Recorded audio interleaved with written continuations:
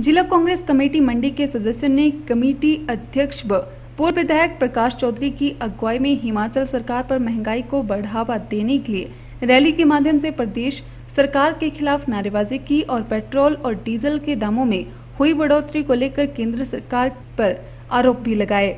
इस मौके पर बल क्षेत्र के पूर्व विधायक व जिला कांग्रेस कमेटी मंडी के अध्यक्ष प्रकाश चौधरी ने केंद्र सरकार के खिलाफ अपना विरोध व्यक्त किया और कहा कि केंद्र सरकार द्वारा पेट्रोल और डीजल के दामों में की गई वृद्धि से आम व्यक्ति की आर्थिक स्थिति प्रभावित हुई है। वहीं उन्होंने प्रदेश सरकार का घेराव करते हुए कहा कि सरकार ने बस किराए में वृद्धि करके जन विरोधी फैसले किए हैं और अगर महँगाई को रोका नहीं गया तो कांग्रेस पार्टी के कार्यकर्ता पूरे प्रदेश भर में अपना विरोध प्रदर्शन जारी रखेंगे। जो हिमाचल प्रदेश सरकार के माध्यम से अभी तो उन्हें दो साल सात महीने का समय हुआ। पहले भी उन्होंने 25 परसेंट वृद्धि बस किराए पर की थी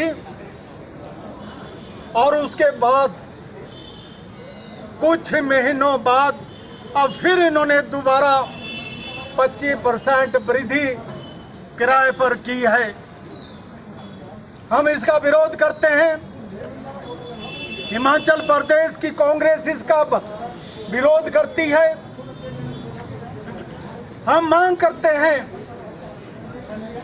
कि जो अमीर लोग हैं, बड़े लोग हैं, वो अपनी व्हीकल पर सफ़र करते हैं।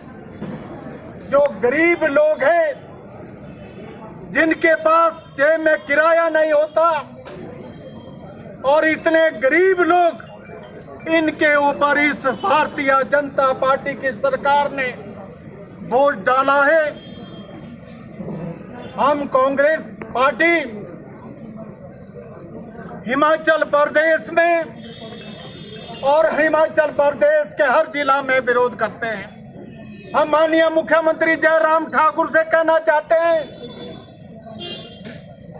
अगर आप किराए बढ़ाने थे तो पहले क्यों कहा आपने कि हम हिमाचल प्रदेश में हम ऐसी सरकार ला के देंगे जो जनता के हक में होगी, गरीब लोगों के हक में होगी, मजदूर लोगों के हक में होगी और किसान लोगों के हक में होगी?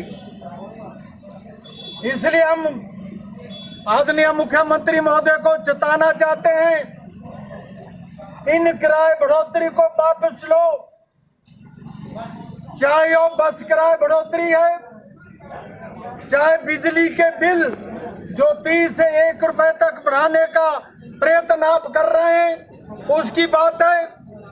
चाहे पेट्रोल और डीजल की बात है। हमने पेट्रोल और डीजल की बात हमने पहले भी कही थी। हमने कहा था इंटरनेशनल मार्केट में तेल और डीजल के भाव क्या हैं?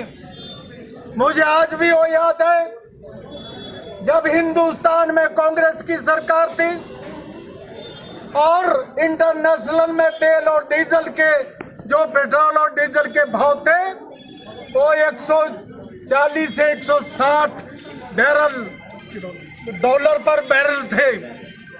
परंतु आज आज 40 से 45 डॉलर पर बैरल रेट है। फिर इनके रेट जो है अस्सी, पचहत्तर, सत्तर के करीब इनके रेट हैं। यानी सत्तर से ऊपर और अस्सी तक पहुँच गए। हिंदुस्तान में तो कई जगह पर अस्सी रुपए डीजल और पेट्रोल बिक रहा है। हम इसका विरोध करते हैं।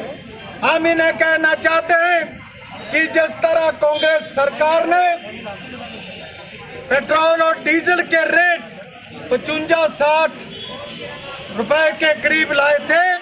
उसी तरह हम चाहते हैं कि भारतीय जनता पार्टी की दिल्ली सरकार हो, चाहे हम हिमाचल प्रदेश सरकार हो, वो पेट्रोल और डीजल के रेट बराबर करें।